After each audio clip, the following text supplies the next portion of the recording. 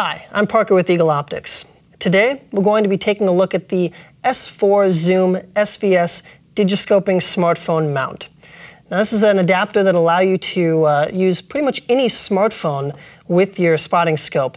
The nice thing too, it's easy to get your phone on and off even with a case on. To mount your phone, you'll put it in the adapter and pull on the tension bracket.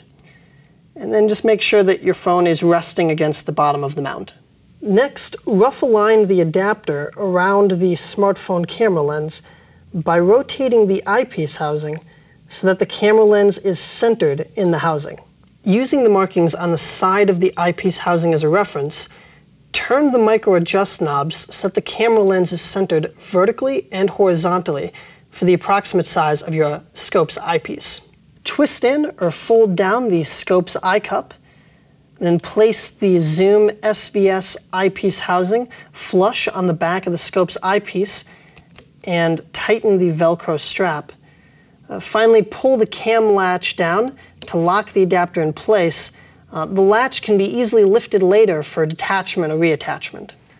Fine-tune the adapter alignment. Put the phone into photo or video mode, and then use the micro adjustment knobs to center the image in the phone display.